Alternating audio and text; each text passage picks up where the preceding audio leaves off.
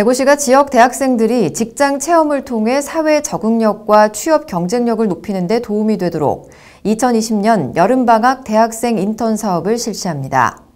모집 인원은 74개 분야 121명이고 신청 자격은 대구에 주민등록이 돼 있는 만 29세 이하 대구 경북 소재 대학 재학생 및 휴학생입니다.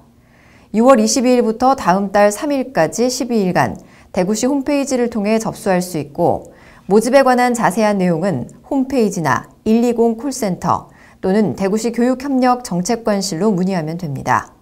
선발된 학생은 7월 27일부터 8월 28일까지 5주간 근무하고 시간당 9,500원의 임금을 지급받게 됩니다.